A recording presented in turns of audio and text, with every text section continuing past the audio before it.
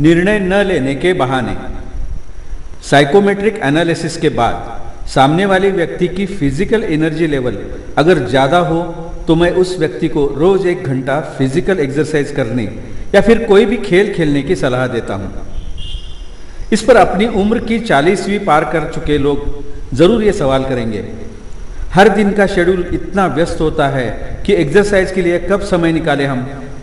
शाम को काम से लौटते वक्त इतना थक जाते हैं कि एक्सरसाइज के लिए एक्स्ट्रा एनर्जी कहाँ से लाए हम? मैं उनसे कहता हूँ, आप आपकी एनर्जी पूरी तरह से इस्तेमाल नहीं करते, इसलिए थक जाते हैं। और सिर्फ़ थकते नहीं है, बल्कि बेजान हो रहे हैं।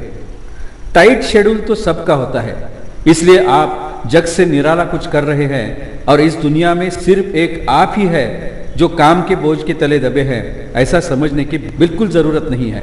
अगर मैं उनसठवें साल में 16 से 18 घंटों तक काम करके भी जिम जाना मैनेज कर सकता हूँ तो आप लोगों को 40 की उम्र में क्या दिक्कत है? आप शरीर से नहीं, मन से थक जाने के कारण आपकी शारीरिक क्षमता दिन ब दिन घटती जा रही है, जिसके परिणाम स्वरूप आपके शादीशुदा जीवन में भी आप ही के द्वारा तनाव भरी स्थिति का निर्माण होता रहेगा। आप बहानेबाजी कर रहे हैं आपके टाइट शेड्यूल की, जो कि सीधे साधे एक छुपा रास्ता है आपकी कमज़ोरी छुपाने का।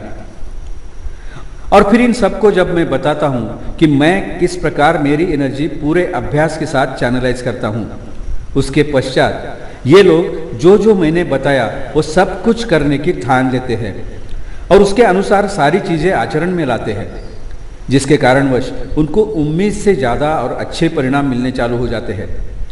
फिर उनको मन ही मन में इस बात का एहसास होता है कि आज तक उन्होंने दिए सब कारण गलत ही थे, क्योंकि वो सिर्फ़ निर्णय न लेने के बहाने जो थे।